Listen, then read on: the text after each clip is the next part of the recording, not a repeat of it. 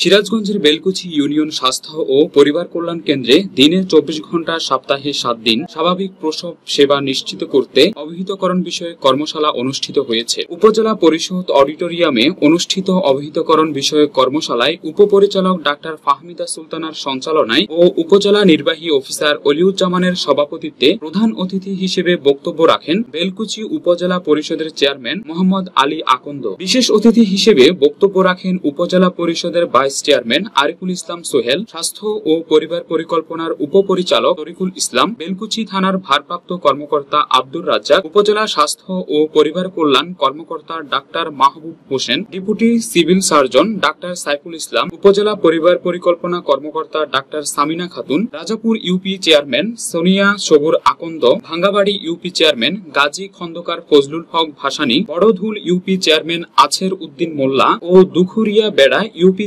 Chairman Mahbubur Rashid Shamim. Sirajganj প্রতিনিধি রাজাউল করিমের তথ্যচিত্রে ডেস্ক রিপোর্ট এস টিভি